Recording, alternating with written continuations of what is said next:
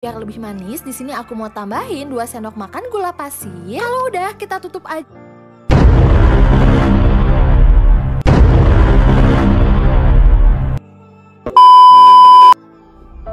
Ya Allah. Nakarnya pakai sendok bolong. Aku kira tadi lah dia menakar tadi tuh beberapa sendok. Tahu ujung-ujungnya dimasukin semua. Untuk apa? Sendok bolong itu untuk apa? Assalamualaikum warahmatullahi wabarakatuh. Welcome back to my channel ID Nen Brother.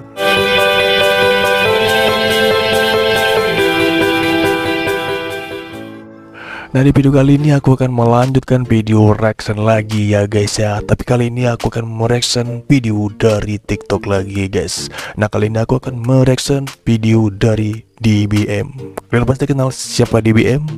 DBM adalah salah satu konten uh, kreator tutorial memasak guys. Tapi prosesnya itu yang agak kita buat emosi guys. Oke lah langsung aja kita reaction videonya guys ya. Semoga kalian pun tidak emosi dan semoga aku pun juga tidak emosi untuk menonton prosesnya. Oke langsung aja kita ke videonya. Let's go. A few moments later. Oke guys langsung kita reaction. Let's go punya empat bahan ini di rumah, jangan dianggurin guys. Mending dibikin cemilan aja yuk. Apalagi kalau udah akhir bulan kayak gini, cocok banget nih guys. Jadi tanpa menunggu lama, langsung aja yuk kita bikin. Oke, di sini kita cairin dulu. Goblok Bentar bentar bentar bentar bentar bentar Apa fungsi dari stick yang kalian lihat tuh guys Lovely Akhirnya dicampur juga.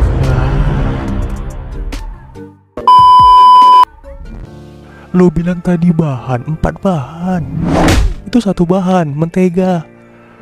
Apa fungsinya dililitin di stick? Dan akhirnya juga dicampur gitu. Kan nggak ada bedanya juga. Oke lah, next.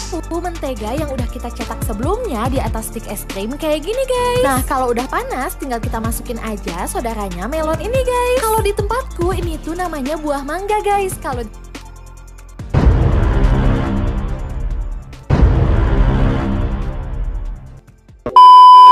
Sejak kapan?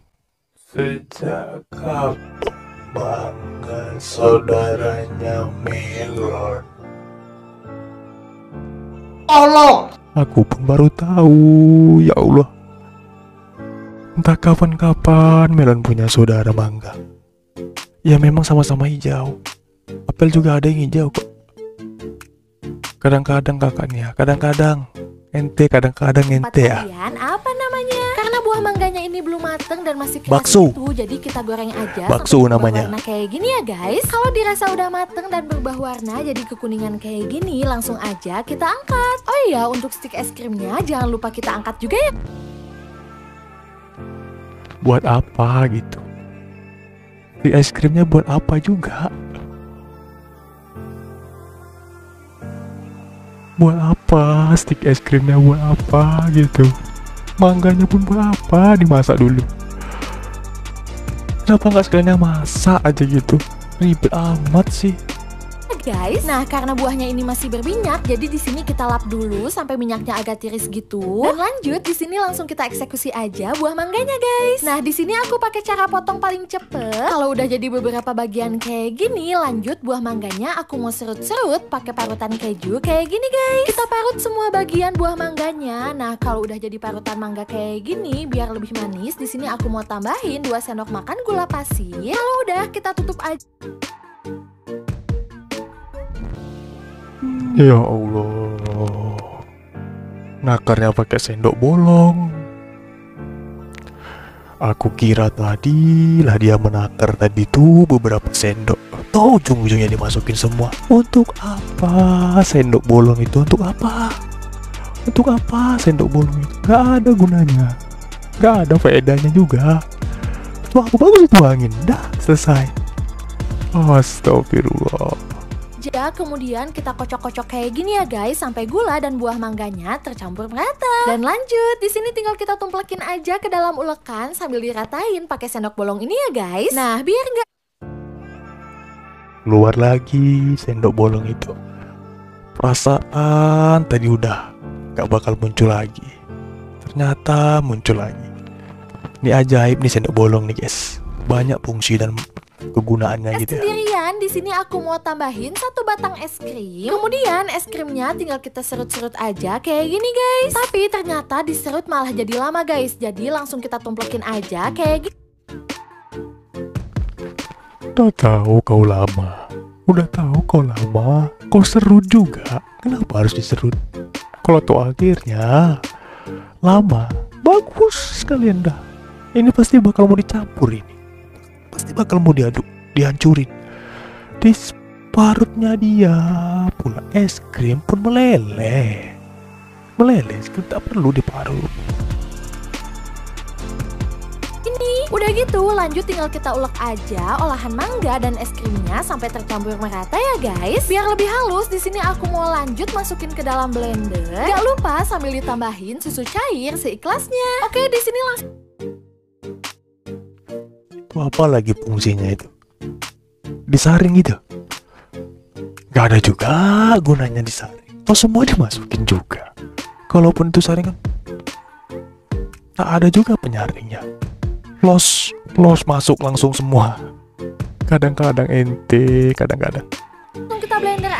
Sampai halus dan tercampur merata. Kemudian kita tuang ke dalam cetakan berlubang kayak gini guys. Nah, di dalam cetakannya ini kita masukin ke freezer ya. Dan untuk sisanya aku mau saring ke wadah toples kayak gini. Nah, untuk yang di wadah toples ini kita cuman pakai airnya aja guys. Dan untuk Nah ini masuk akal. Saringannya berfungsi gitu. Jadi dari tadi aku melihat video ini, baru satu alat yang berfungsi dengan baik dan benar. Nah saringan inilah yang baru aku lihat guys ya. ampasnya kita buang aja ya. Biar lebih berwarna, di sini aku tambahin juga sedikit pewarna makanan ya guys. Kemudian tinggal kita kocok-kocok aja sampai semuanya tercampur. Selanjutnya tinggal kita siapin aja tepung ketan. Nah di sini tepung ketannya aku mau saring dulu ya guys. Pastiin gak ada tepung yang bergerinjil. Tam- Kok saring? Tadi kok saring? Kok ayah-ayah? Akhirnya kau tumpahin juga. Sama aja. Kenapa nggak langsung aja? Udah nggak usah disaring-saring lagi. Ya Allah. Tambahin garam seikhlasnya dan masukin bahan Ya nggak gitu juga. Garam seikhlasnya pakai sumpit. Ya tapi ya bener juga sih. Ya seikhlasnya. Ya, namanya seikhlasnya ya kan. Bener bener bener bener.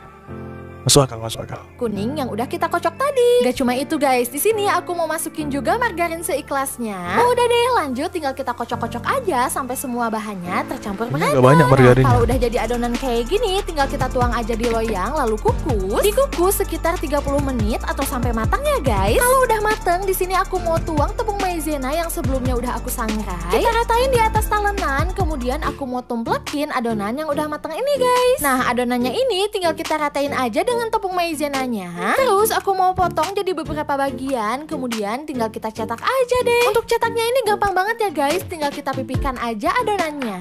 Kemudian tengahnya tinggal kita isi aja dengan jus mangga yang udah beku ini guys. Udah deh, di sini tinggal kita tutup aja adonannya sambil dibentuk bulat kayak gini ya guys. Biar lebih mantul, di sini kita bisa simpan dulu di freezer sekitar satu jam ya guys. Dan ini dia mochi es krim mangganya udah jadi. Asli guys, ini enak banget, wajib coba.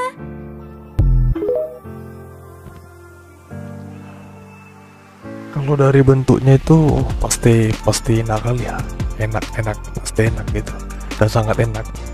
Karena di setiap masakan dari Kak DBM ini eh, dari warnanya gitu, dari postur warna dan bentuknya itu kalau kita lihat itu udah pasti sangat enak gitu. Hanya saja mungkin kita melihat prosesnya aja sih yang agak ribet gitu ya dan mengundang emosi para penonton.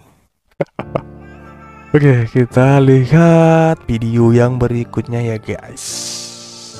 Kalau cuman punya empat bahan ini di rumah, Ternyata cuma dari satu papan tempe bisa jadi ide jualan yang nggak biasa loh guys. Nah daripada penasaran, mending langsung kita bikin aja yuk. Pertama-tama di sini tempenya aku mau goreng dulu guys. Di sini aku goreng dengan daunnya ya. Kayaknya aku baru lihat baru lihat proses seperti ini guys. Di mana menggoreng tempe itu sekalian bungkusnya digoreng gitu. Tapi ya inilah namanya proses guys ya. Kita harus menghargai sebuah proses. Ah, biar lebih harum. Kalau udah, tinggal kita buka aja bungkusannya. Lalu aku mau parut pakai parutan keju kayak gini. Tapi guys, karena diparut pakai parutan yang lebih kecil ini lama, jadinya aku mau tumbuk aja pakai alu kayak gini. Udah tahu lama, udah tahu lama. Kenapa ada inisiatif memarut gitu? Harus ada memarut. Kenapa nggak langsung ditumbuk dari tadi, dari awal tuh ditumbuk gitu loh? Kan selesai. Ini kita bikin ini agak halus gitu ya guys. Nah udah gitu di sini aku mau lanjut keluarin satu bungkus cemilan kesukaan mama mertua. Pas aku keluarin ternyata isinya ini malah telur guys.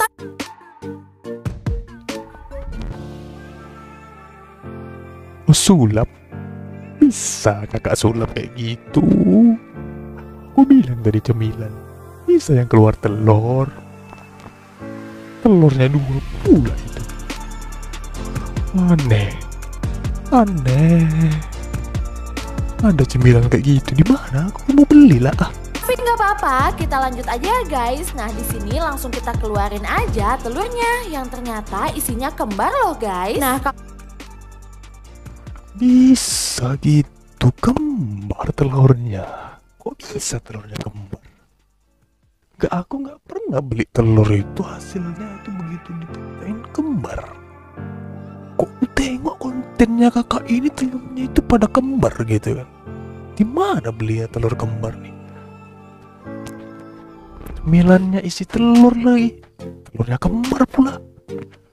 Memang kalau ada cangkang yang ikutan masuk kayak gini, kita keluarin dulu ya guys. Oke di sini telurnya tinggal kita satuin aja ya guys dengan tempe yang udah ditumbuk tadi. Kemudian aku kasih masuk tepung terigu dan penyedap rasa seikhlasnya. Nah semua bahannya tinggal kita aduk aja ya guys. Di sini kita Ikhlasnya aduk kau buat seikhlasnya. cepet. Oke kalau semua bahannya udah tercampur merata kayak gini, tinggal kita tuang aja ke dalam loyang. Oh iya karena adonan yang di loyang ini masih agak lengket, jadi aku mau tambahin lagi tepung terigunya guys. Di sini aku tambahin sedikit demi sedikit sambil diuleni kayak gini ya. Kalau dirasa udah pas, tinggal kita cetak aja. Nah di sini aku ambil sedikit adonan. Caranya gampang banget, tinggal kita keluarin aja adonannya dari tangan, lalu dibentuk jadi baso-basoan kayak gini guys. Di sini kita lanjut dengan step yang sama sampai adonannya habis ya guys. Kalau udah, tinggal kita kukus aja. Nah di sini kita kukus sekitar 30 menit atau sampai matang. Nah sambil nunggu, di sini aku mau siapin dulu air hangat sambil ditambahin 2 sendok makan gula pasir. Udah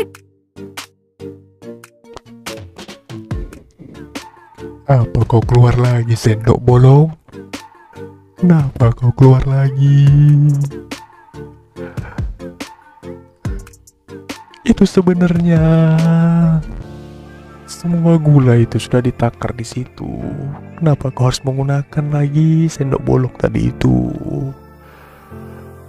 Yang kupikir dia akan menakar beberapa sendok.